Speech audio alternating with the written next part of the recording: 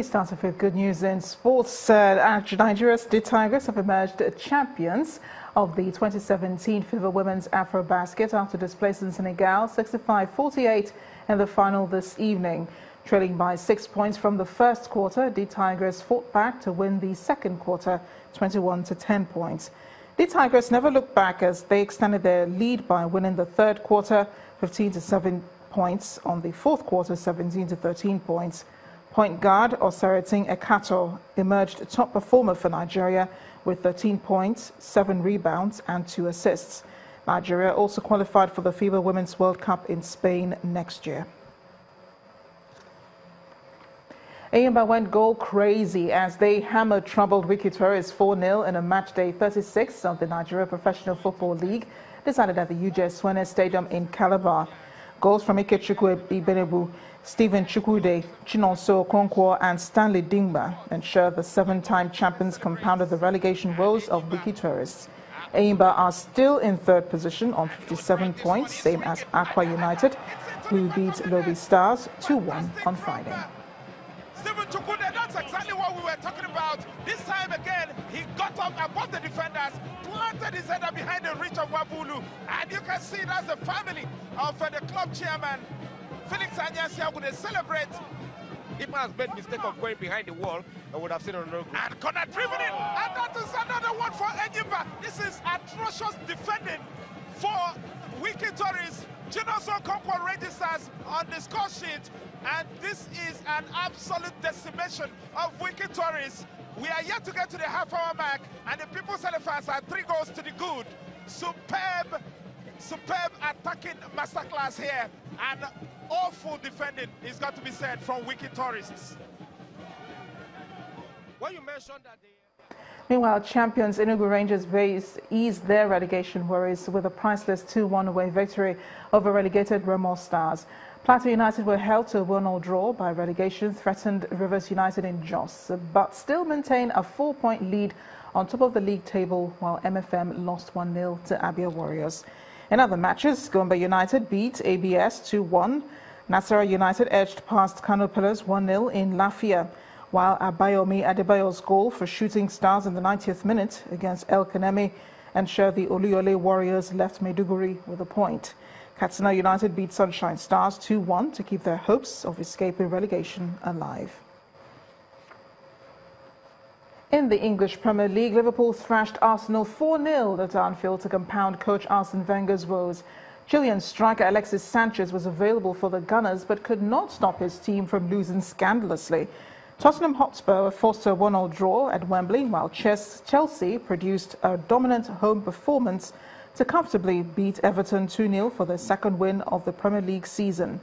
Elsewhere, West Brom and Stoke City had to settle for a share of the spoils at Hawthorns as the keenly contested ended 1-0.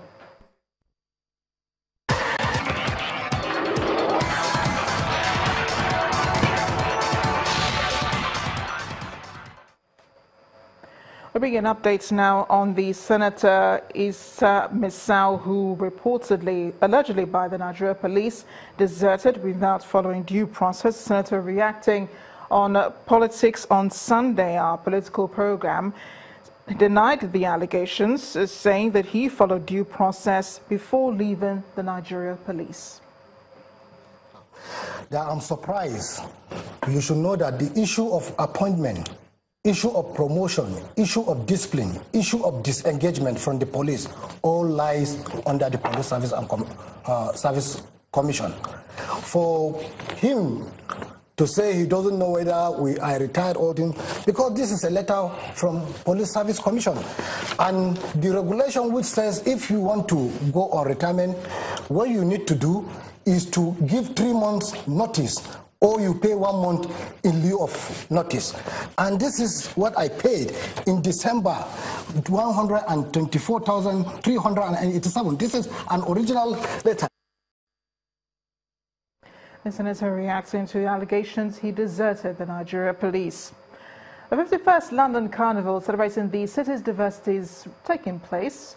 A colourful event that draws thousands of visitors from around the world to London to enjoy the music and dancing and traditional paint fight that characterizes it. This year, however, as London celebrates, it also remembers those who would not be joining this year, having been killed in the Grenfell Tower fire. The carnival began with a minute's silence for those who perished in the Grenfell Tower fire.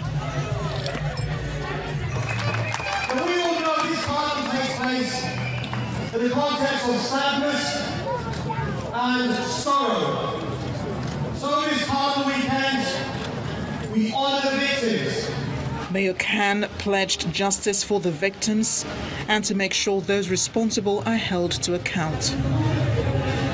But remembering the horror of the Grenfell fire did not douse the mood of the carnival.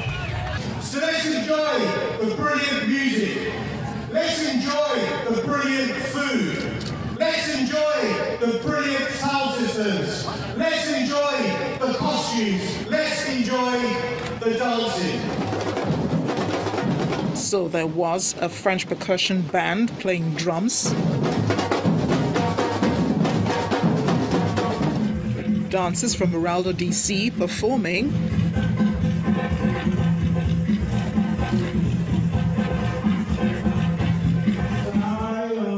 And of course, the Rastafarian preacher Jah Rafta Rahim performing.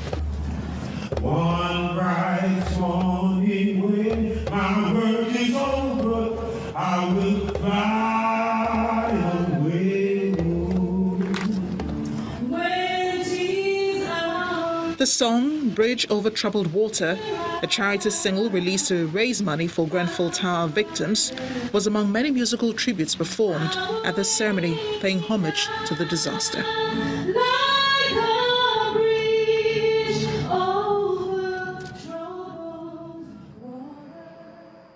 Thousands of Rohingya Muslims are fleeing fighting that broke out in the Myanmar state of Rakhine into Bangladesh despite being turned back at the border.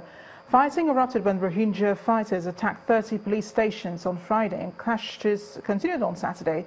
They face restrictions inside mainly Buddhist Myanmar, where tensions with majority populations have been rumbling for years.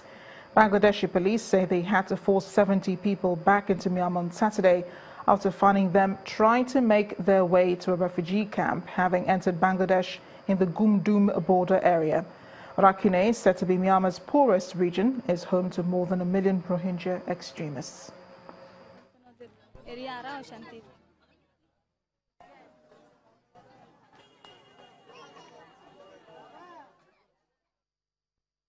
Meanwhile, five climbers have been killed, one seriously injured in an accident near Krimml in the Austrian Alps. Authorities are not sure exactly how it happened, but that six people who were climbing the ropes appeared to have fallen together. The climbers were below the Malkanchate Pass, an area with a heightened risk of rock slides. The accident is believed to be the deadliest so far this season in the Austrian Alps, where dozens, several dozens of mountaineers die annually.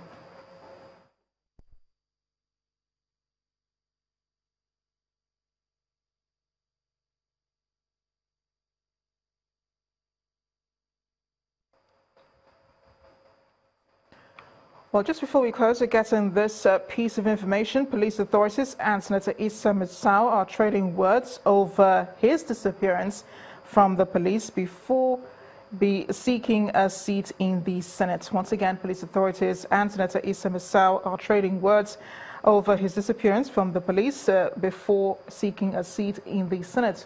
Remember, the senator did respond this evening to allegations by the police that he deserted the police after they said he did not follow due process.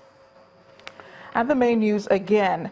Heavy downpour today ravaged over 2,000 houses in Makurdi, the Benue state capital, as residents and the state government trade blames over whose fault it is. That's it on the news at 10 tonight. Thank you for watching. I am Amarachi Ubani. Good night.